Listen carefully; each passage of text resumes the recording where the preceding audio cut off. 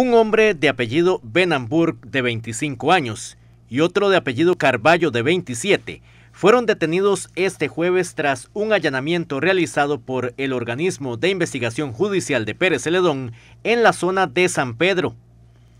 Estas dos personas son sospechosas de venta y almacenamiento de drogas.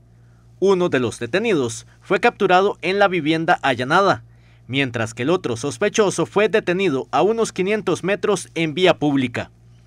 El trabajo judicial se realizó tras dos meses de investigación y luego de informaciones que ingresaron a través de la línea confidencial de OIJ que indicaron sobre la actividad ilícita que en apariencia se realizaba desde la vivienda.